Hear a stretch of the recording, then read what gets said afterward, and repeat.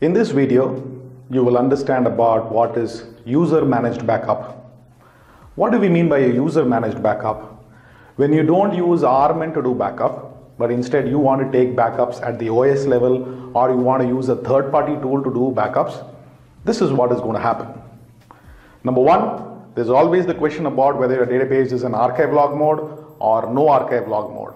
If your database is in no archive log mode, then the only option you have is offline backups or cold backups or consistent backup. You would have to shut down the database and make a copy of all your database related files, which includes data files, control files, and redo log files. How do you know where are these files located?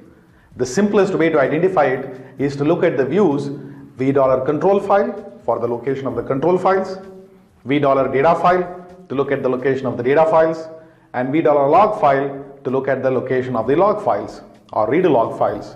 Once you have taken a backup, then you can start up the database and whenever you encounter a problem, the only choice you have is delete the database as it exists and restore the entire backup, data file, control file, redo log files as they existed, restore them and bring up the database. But all the data that was entered since the time you took the backup to the time when you deleted the data files are all lost. This is an inherent problem with databases in no archive log mode. So generally, production databases or databases where the data is important will never be in no archive log mode. You will put them in archive log mode. I will have another video in which I'll tell you how do you put a database in archive log mode. Assuming you have a database in archive log mode, you still go and look at what are the data files, what are the control files from v data file and v control file, but you don't take a backup of redo log files for a database which is in archive log mode. Because the moment you put your database in archive log mode, every time a redo log file undergoes a switch, the last group will be archived to the destination which you specify. When you are having your database in archive log mode, you can do both kinds of backup. You can do a consistent backup wherein you shut down the database and backup all files, but you don't want a downtime to do that. So you could do an inconsistent backup or an online backup or a hot backup where you take the backup when the database is running. So how do you go about taking an online backup? You can take a backup of the entire database or you can take a backup of a particular table space or a set of table spaces only or a particular data file or a set of data files only. Whichever backup you're going to do, you need to put the database. If you're doing a database level backup, you issue the command alter database begin backup.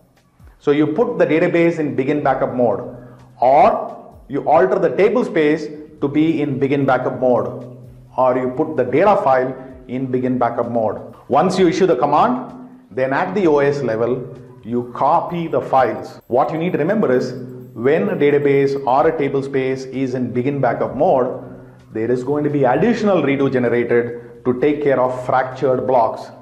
What is a fractured block? When a backup is being done, when a block is being copied, there is a high likelihood the same block is being written to by DB writer.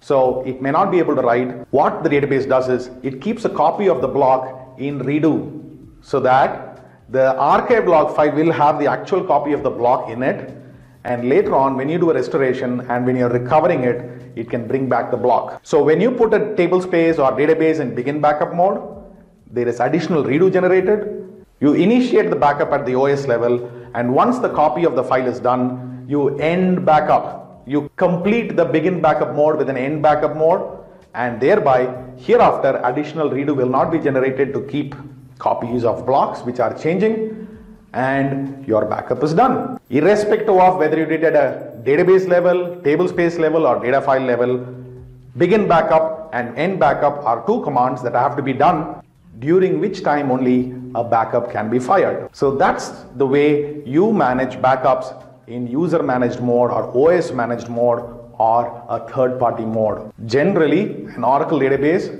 is backed up using RMAN. In the remaining set of videos that come up in this playlist, you will learn how to use RMAN as a utility to create backups and restore them.